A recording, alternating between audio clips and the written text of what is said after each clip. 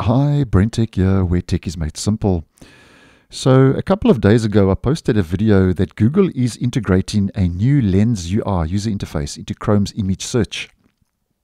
Now, that video will be linked in the end screen and uh, down below if you'd like some more info. But just a quick recap for the purpose of today's video.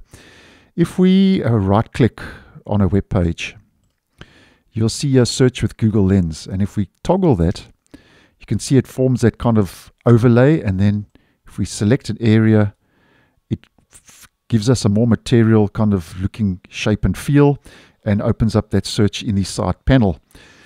Now as I mentioned in that video there is a new notification and a search with Google Lens shortcut that randomly appears um, if you click on the Omnibox. So you can see search with Google Lens, which can be annoying.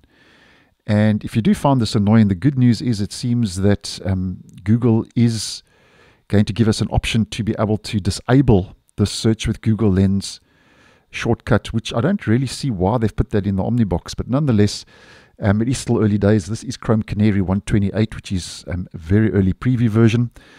And the good news, as mentioned, is if we right click now on the Omnibox, you can see always show Google Lens shortcut. If we toggle that, we can see now that has removed that. So if we just click out, there we go. If we click on the Omnibox now, that's been removed. And if we right click again, we can always show Google Lens shortcut. And there we go.